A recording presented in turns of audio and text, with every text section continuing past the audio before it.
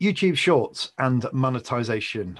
People say that you can't monetize Shorts and that time that you are playing YouTube Shorts does not go towards your monetization time, of which you need 4,000 hours before YouTube will even consider monetizing you, and you also need a thousand subscribers. So let's have a look at this channel that I set up, which is exclusively shorts. Um, in December of last year. So it's now 14th of April. So it's been going just over a quarter. Um, we have 270 subscribers. That's growing. That will soon get to the 1,000 subscribers. Not a problem. Here is the issue, however. We need to get 4,000 views, 4,000 hours of watch time. And people are perfectly correct in that the watch time when YouTube shorts are playing does not count towards the overall watch time on your channel, of which I say you need 4,000 hours. If you want to check how you're doing eh, against those targets, then it's very simple. In your YouTube analytics, simply go down to monetization and you'll see that the 2007, sorry, the uh, 270 subscribers out of the 1000 is there. Good but I only have 127 public watch hours towards my 4,000. Hmm, 127 isn't much, but if the the views from shorts don't count towards those 4,000, where does that 127 come from? Hmm, big question he pretends to not know the answer to, but does.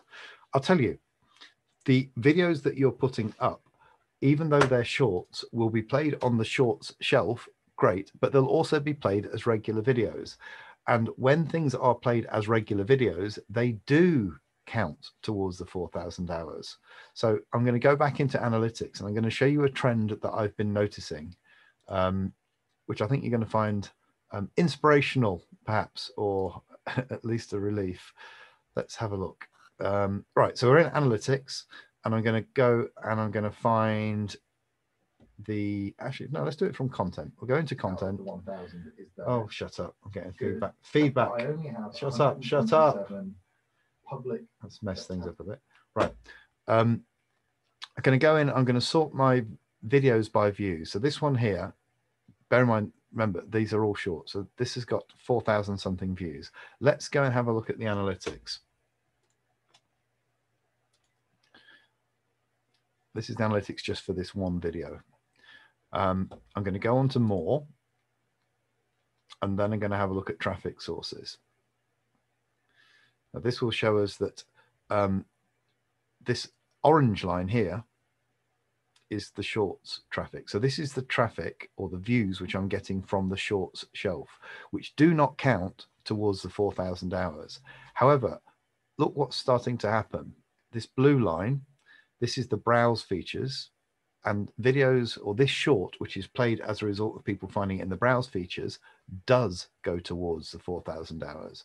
And what I'm noticing is as shorts have been up um, for longer and they're starting to become more viewed on the shorts shelf, as I would have expected, it means that YouTube's other parts of the or the other parts of the YouTube algorithm, which recommend the videos to be shown in other parts of YouTube, such as in the browse features, such as in the suggested videos, um, and other features are, are, are becoming more popular. So it seems that we get initial bump from the shorts shelf, which is great because it's very good for subscribers, as we've seen. Longer term, and remember, I'm always talking about YouTube being longer term. Longer term, those shorts videos are starting to appear elsewhere where they can be monetized. So even by the, the monetization standards of um, you know a, a standard video, um, we we can get monetized. But coming down the line from YouTube, there is strong indications that there are going to be other ways of monetizing shorts. Uh, shared revenue model with um, models with um, music artists being one of them. It's still very unclear.